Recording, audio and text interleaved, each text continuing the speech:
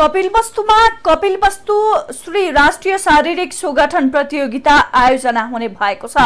कपिलवस्तु जिल्ला शारीरिक सुगठन तथा फिटनेस संघले तौलिहवामा पत्रकार सम्मेलन गरी यही असोज दस र एघार गते प्रतियोगिता आयोजना गर्ने जानकारी दिएको हो।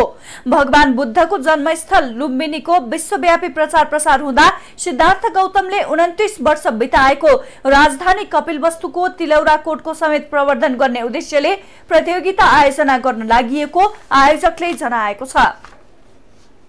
यो चाहिँ हाम्रो असोज दस र एघार गते सेप्टेम्बर ट्वेन्टी सेभेन ट्वेन्टी एटमा हाम्रो प्रोग्राम हुँदैछ। अनि यसको ओभरअल विनरले दुई लाख रुपियाँ पाउँछ। अनि आफ्नो आफ्नो वेटमा आउने मान्छेले चाहिँ पाँच दस पन्ध्र पाँच दस पन्ध्र हजार पाउँछन् अनि सबले मेडल ट्रफी पाउँछन्। अनि हाम्रो जजहरू काठमाडौँबाट बुटोल भएर एउटा सब ठाउँबाट आउनुहुन्छ होइन? यो कपिल वस्तु भनेको एउटा हिरा हो। हामीले हिरालाई चिन्न सकेको छैनौँ यसको अभियानमा म लागेको छु। हाम्रो छिमेकी देशमा पनि कपिल वस्तु छ तर प्रुफ चाहिँ यहाँको बस प्रतियोगितामा देशभरका एक सय बढी खेलाडीको सहभागिता रहने आयोजकले जनाएका छन्।